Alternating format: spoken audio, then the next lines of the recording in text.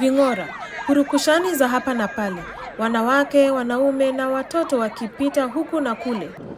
Ni harakati zenye ahueni miongoni mwa wakimbizi elfu thelathini kutoka Sudan ambao wameona nuru baada ya kufika hapa Mijlita, jimbo la Udai nchini Chad.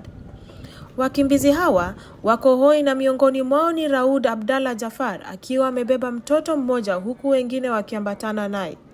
Wanajongea kwenye dawati la usajili lililoandaliwa na shirika la Umoja wa Mataifa la kuhudumia wakimbizi UNHCR. Baada ya usajili, Raud anasema, nimesajiliwa leo na UNHCR, nahitaji sasa matandiko, blanketi, chakula na mahitaji mengine. Usajili ukikamilika, wakimbizi wanaelekea sehemu ya kupatiwa vifaa muhimu kama alivyosema Raud.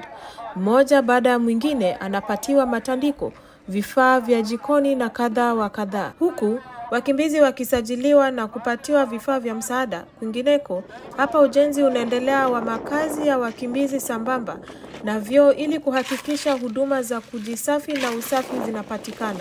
Jerome Sebastian, naibu mwakilishi wa UNHCR nchini Chad, anasema iwapo mzozo Sudan utaendelea, kuna uwezekano wa Chad kupokea hadi wakimbizi laki moja na mahitaji ya fedha kwa ajili ya kufanikisha operesheni za usaidizi anaweza kufikia dola milioni mia moja na thelathini. Hivyo ametoa ombi kwa jamii ya kimataifa kusaidia Chad na mashirika ya kiutu yanayoshiriki katika harakati za kusaidia wakimbizi.